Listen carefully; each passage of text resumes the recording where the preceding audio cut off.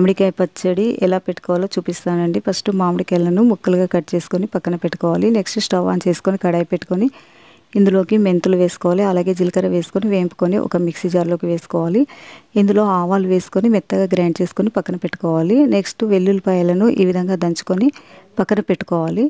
తర్వాత మామిడికాయ ముక్కల్లోకి కారపొడి వేసుకోవాలి. అలాగే ఉప్పు వేసుకోవాలి. వేసుకున్న తర్వాత గ్రైండ్ చేసుకున్న పొడి వేసుకోవాలి. వెల్లుల్లిపాయ పేస్ట్ కూడా వేసుకొని బాగా కలుపుకోవాలి. ఈ విధంగా కలుపుకొని పక్కన పెట్టుకోవాలి. ఇప్పుడు ఈ పచ్చడికి పోపు పెట్టుకోవాలి. స్టవ్ ఆన్ చేసుకొని కడాయి పెట్టుకొని ఆయిల్ వేసుకోవాలి. ఆయిల్ హీట్ అయిన తర్వాత ఆవాలు వేసుకోవాలి. ఆవాలు వేగిన తర్వాత ఇందులోకి జీలకర్ర వేసుకోవాలి.